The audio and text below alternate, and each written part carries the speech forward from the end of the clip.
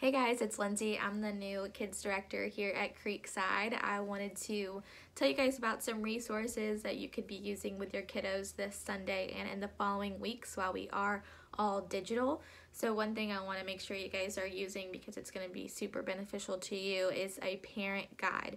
So I'm going to send you the link to that and it will include a memory verse. It will include some key points uh, from the Sunday videos and it will also include activities to do with your students. So I think it comes with two for preschool and it comes with one more in-depth activity for elementary school students. So basically that's a great thing to utilize just in case you're wondering what are some things I want to make sure that they're getting from the videos, it's all right there for you. So that's great. The second one is elementary school God time cards. These are more like devotional cards that you guys can be using um, just for the following days after Sunday. I think it comes with five, so you can do one Monday through Friday with your elementary school students, and it's just a little devotional that goes hand in hand with the Sunday videos. So it's a great tool for continuing to disciple your kids.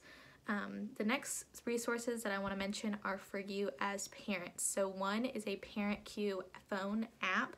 So you'll just go to the App Store and download Parent Cue, and it basically gives you all the cues that you need for um, for how to disciple your kids and um, some key questions to mention that are about the Sunday videos. It's an app created by Orange, so it just goes hand in hand with what they're going to be learning right now, which is great. The next is a blog post that I'm going to link and send to you. Um, it's on how to manage fear and anxiety during a pandemic. I think that's huge. Right now, we are in a crazy time, and none of us have ever done this before. So, that's a great tool for you guys to have, um, just as everything is so stressful and crazy right now. And then also, it, I want to make sure you guys have um, access to a podcast with Sissy Goff, and it's on how to help your kids navigate through anxiety a lot of the times our kids are picking up on our mannerisms and our emotions. Um, so this is really great as we're kind of stressed out. We want to make sure that we're helping our kids if they're also dealing with anxiety. So those are some resources that I think will be really beneficial to you.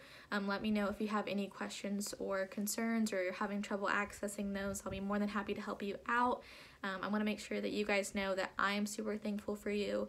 I'm thankful for the way that you're discipling your kids during this time. You are valued and cared for, and I want to help out as much as I possibly can. So if you have any questions or you need absolutely anything, please feel free to reach out to me and I'll be happy to help. All right. Thanks, guys.